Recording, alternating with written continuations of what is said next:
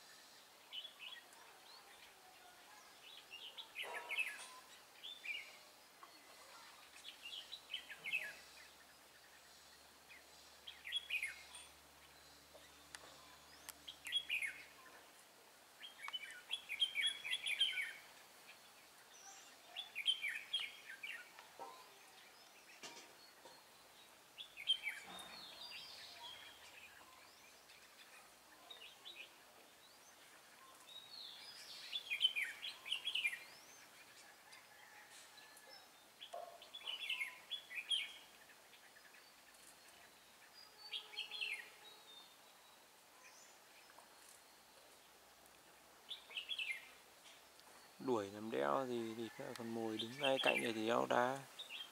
Đeo phải đuổi. Đuổi thử con này xem.